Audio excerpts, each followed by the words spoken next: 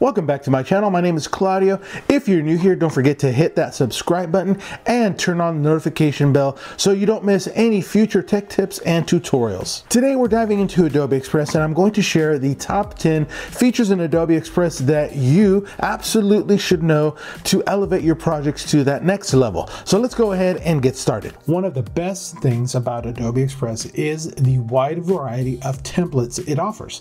Whether you need a social media post, a flyer, or even a business card, there's a template for almost everything. These templates are designed to save you time and give you professional quality designs right out of the box. The best part, you can fully customize them to match your unique style. So whether you are a beginner or a pro, using templates is a game changer.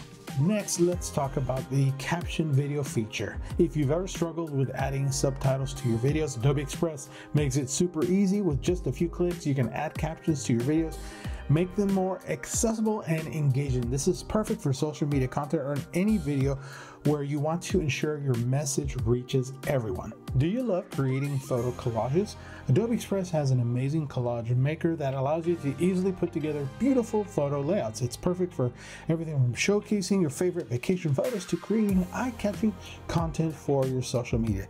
You can even adjust the size, spacing, and design style to match your vision. Another awesome feature is the QR code generator.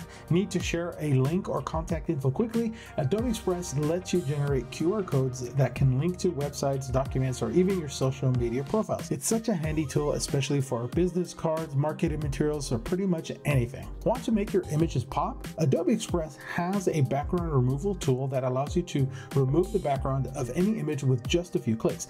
This is a great tool for product photos, profile pictures, or anytime you want to highlight the subject of your image without distraction.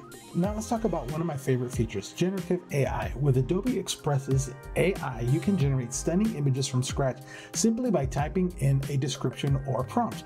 Want a picture of a futuristic city? Type it in and boom, you've got an image to work with.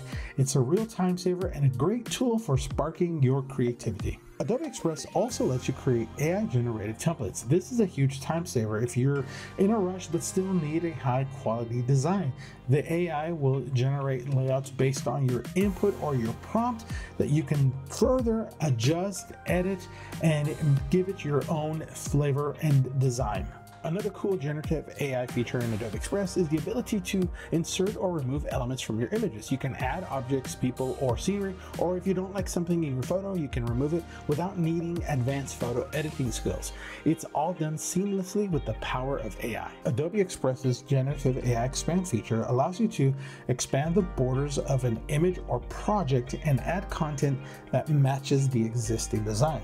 This is super useful when you need to fit your image or design it to a specific size or format but don't want to lose its aesthetic image quality. And lastly, I want to mention the branding feature in Adobe Express. This tool allows you to upload your brand's logos, fonts, and add colors to ensure that your designs stay consistent across all your content. It's perfect for businesses or entrepreneurs who want to maintain a cohesive look across all your projects. And here's a bonus feature you don't want to miss, the schedule tool. With this, you can schedule your posts directly to social media platforms like Instagram, Facebook, TikTok, X. It helps you plan your content ahead of time so you never miss a post. And those are my top 10 features in Adobe Express that you absolutely should know. Of course, there are many others that I didn't get a chance to cover. If you have any suggestions, please drop it in the comment section. Thanks so much for watching. If you found this video helpful,